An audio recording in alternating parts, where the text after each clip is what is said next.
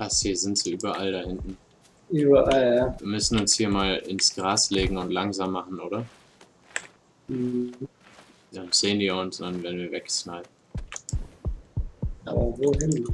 Direkt hier bei 350 vor uns schießt einer. Da, ich sehe ihn! Ich sehe ihn!